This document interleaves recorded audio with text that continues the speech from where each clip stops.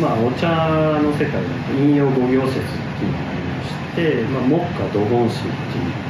言われるものですね。あの、まあ、そういったものをこの空間には全て取り入れてやっています、えーまあ、木のものがあったり、まあ、金だと銅ですね、えー、土のもの土物があったり、えー、水の流れでしたりまあ、火のものであったり、まあ、そういったものをここの空間に合わせることによって、まあ、お客様が座った時にこうリラックスして楽しんでいただけるような空間としてこのような形になっています。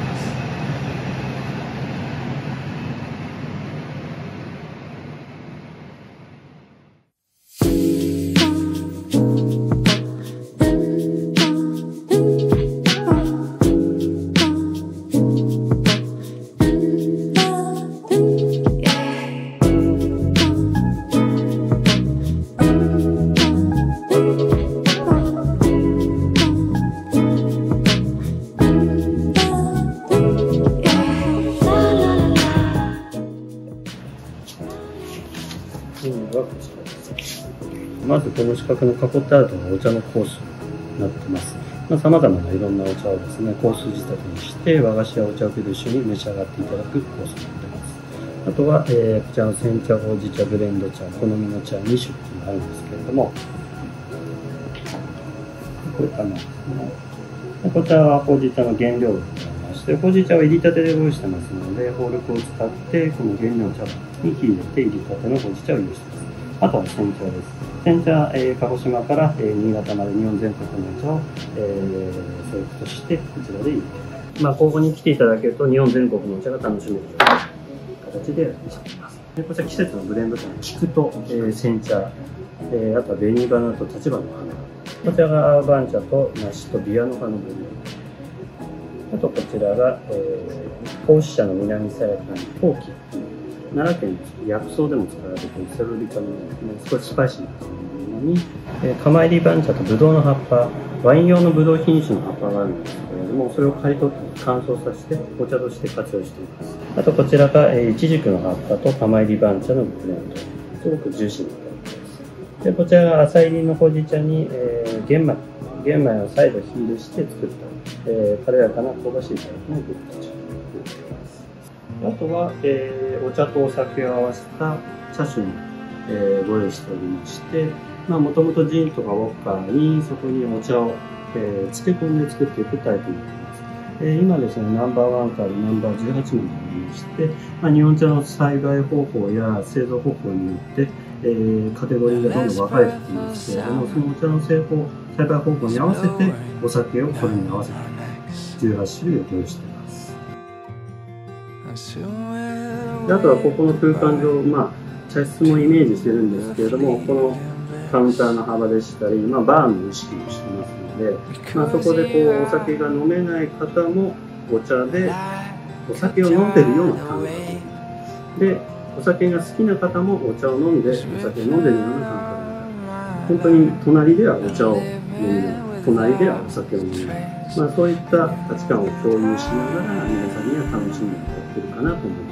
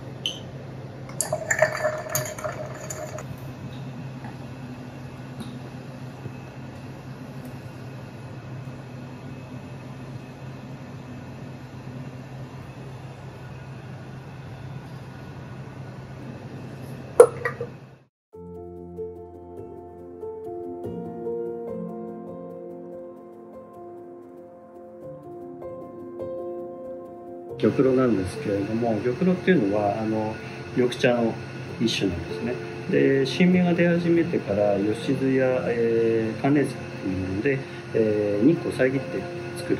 お茶です、まあ、日光を遮ることによってカフェイン類カテキン類あの渋みの成分が抑制されてうまみ成分のペアにっていうのはあの多く出てきます。なのであの緑茶の中では非常にうまみの強い、えー、しっかりした甘い味わいのお茶です、まあ、そこのお茶を使ってですねえー、シンプルにウォッカと、まあ、リレブラン、えー、を使って、えーまあ、手に仕上げています。ただちょっと違うのはですね玉露この1戦目ですね。玉露の1戦目に一番うまみが濃厚に、えー、詰まってますのでこれをあの、通常マーティニーだとオリーブがあってですねその塩気とともに楽しんでいただいてるんですが、えー、私どものお店ではこの玉露の1戦目をオリーブの代わりとして少し口に含んでもらってからこの玉露の2戦目を、えー、使ったマティニー。を召し上がってもらっています。まあ、これはシンプルに、えー、玉露を楽しんでいただきたいっていうのもありますので、まあ、その中でもフィードホッカのそのささらりとした軽やかな感じとこの玉露のうまみがそこに上に乗っていくような形で用意してちょっと華やかさもあるのでここもあの玉露に合うえっとですね、まあ、お湯の量にもよるんですけれども、基本的に、えー、釜から、えー、湯冷ましに移していく間に大体約10度下がる。まあ、そこを計算しながら。で今回 20cc ですので少し量も少ないのであの熱も冷めやすいところを使ってで最後僕らもこうやって触るんですけれどもここで温度帯を確認しながら入れていきます。このお茶の選び方は自分がお茶農家さんにってでその都度、えー、今年のいいものだったりそのお茶農家さんの特徴的なものを自分でセレクトして仕入れてます。あとほうじ茶やブレンドとか、自分たちで作でほうじ茶はその、えー、原料を、えー、農家さんと相談して、えー、選定してそれを自分たちに入れたと焙煎機持ってますので